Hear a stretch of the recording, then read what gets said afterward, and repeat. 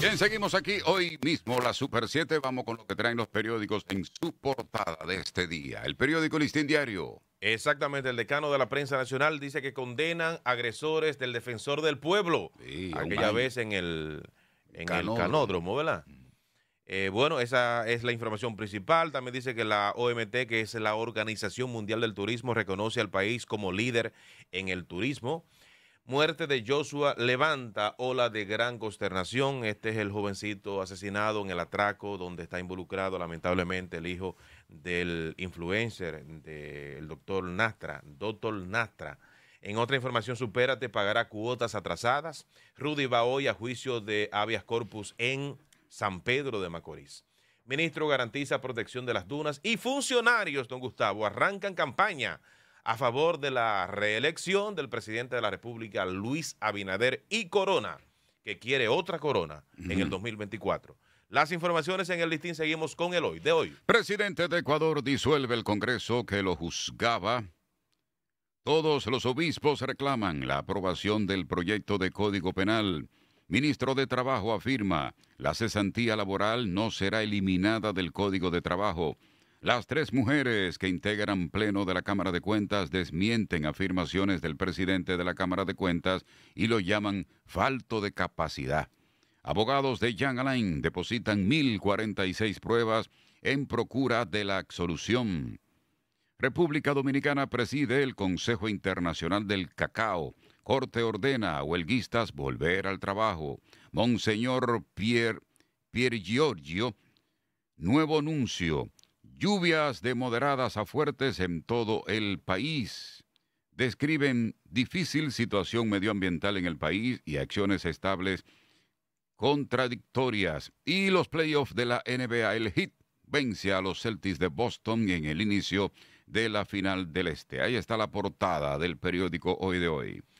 Bueno, vámonos al Caribe, el periódico El Caribe, mientras siguen reportándonos eh, sintonía, por ejemplo, Ariel Acosta Almanzar nos dice que se estima en 5.0, ya hemos hablado, el reporte ya de manera oficial, Gustavo, de 5.0 o 4.5. Vamos a esperar ahorita porque tú- lo- lo- hay uno que, el- por ejemplo, el Instituto Sismológico de Estados Unidos da un número, y aquí da otro, y hay varios. El profesor Emanuel Trinidad, que está en sintonía, creo que está en San Francisco de Macorís, nos dice también 5.0, así que vamos a esperar para eh, certificar esa información, a ver de cuánto fue el temblor que tuvo epicentro por ahí por Puerto Plata. en. Altamira, Puerto Plata. Así es. Entonces, el periódico El Caribe dice que varios del Gran Santo Domingo con el grito al cielo por la escasez del agua. Es no solamente el Gran Santo Domingo, muchas partes del país. Eridad aprueba la operación del acródromo eh, Davidson Airpark. Vamos a ver que, de qué se trata este acródromo, ¿verdad?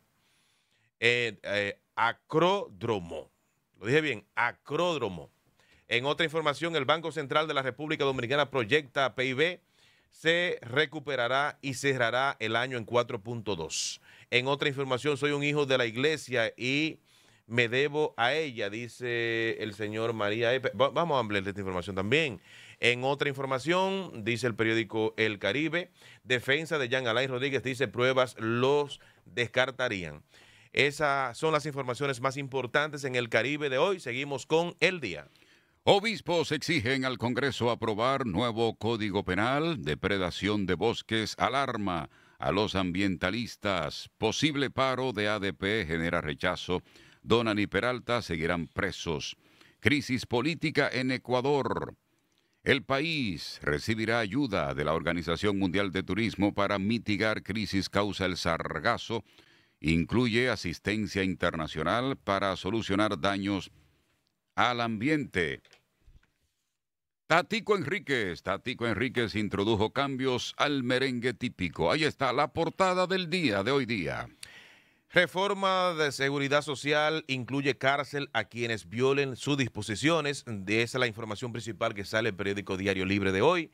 Dice las penas serían entre 3 y 5 años por cambiar, limitar o denegar la nueva ley, según la propuesta aprobada por una comisión bicameral, la cual sugiere al Congreso su apro- aprobación. República Dominicana se prepara para su debut en el Mundial, el Sub-21 de fútbol. Destacar también que Código de Ética busca evitar acoso en las escuelas. República Dominicana insta a la OMT a unir esfuerzo contra Sargazo. También dice que el doctorcito solicitó al taxista lavar y ocultar vehículo. Ese es el caso lamentable que hemos mencionado. Eso lo dice el Ministerio Público. Eso lo dice el Ministerio Público. Si el Ministerio Público dice acusado en muerte de Joshua Fernández, eh, decena conocía, en este caso, eh, eh, cometerían el delito. No se ve, está un poquito borroso aquí en la portada, pero esa es la idea de lo que trae hoy el periódico El Diario Libre. Son las informaciones más importantes, don Gustavo, en el periódico El Diario Libre de hoy. Seguimos con el, nuevo, diario, El nuevo diario ahí está en pantalla. Ministro Isa asegura inflación estará normalizada. Este año prevé un crecimiento económico decente. Otra información, celebran por primera vez en el país el Festival Centroamérica Cuenta. Esta es la décima edición. Investigación, diputado Genao aclara. Comisión que investiga la Cámara de Cuentas de la República Dominicana no encontrará culpables, no son un tribunal. Ministro Collado afirma, turismo sin sostenibilidad no tiene futuro. Y una corte de trabajo ordena el reintegro de labores en el sindicato de huelga en Cormidón. Y el editorial de este periódico, don Percio Maldonado, lo titula hoy Centroamérica cuenta. Ahí está el nuevo diario en su portada. Bueno, seguimos con 7días.com.do que dice que Valdés Alviso, que es el gobernador del Banco Central de la República Dominicana, señala al turismo, inversión extranjera, zonas francas y sector financiero como impulsores del crecimiento económico del país.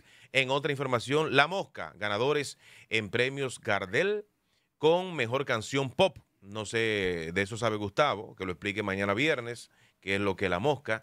Encuesta de hace de media dice, revela que Leonel Fernández acumula mayor tasa de rechazo en el electorado dominicano. También dice que unos 100 fiscales interponen recursos de amparo y solicitan medida cautelar contra eh, Procuraduría General de la República. El presidente de la Suprema Corte de Justicia, Luis Henry Molina, reitera compromiso de garantizar justicia a los más vulnerables. Las informaciones, don Gustavo, en el periódico el7días.com.do concluimos con proceso. Chiquito, involucrado en el homicidio de Joshua Omar Fernández, es un jugador de baloncesto perteneciente al Club Rafael Varias. Wow. Ministerio Público dice el doctorcito estaba consciente de su actividad ilícita, pedirá un año de prisión preventiva. Aprueban informes sobre proyecto de ley del Código Penal. Comisión investigadora de conflictos en Cámara de Cuentas no definen fecha de entrevistas a titulares. Un sismo de magnitud 5,9 sacude Guatemala sin causar daños físicos o materiales.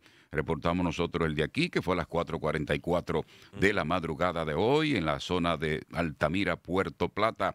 Sonia Leticia Cruz, juramentada, embajadora de Honduras en República Dominicana. Antonio Marte exhorta a volver a enfocar la inversión turística en favor de la población. Ahí está la portada de proceso.com.do. Con esa hacemos la pausa, regresamos en breve, hoy mismo, la Super 7.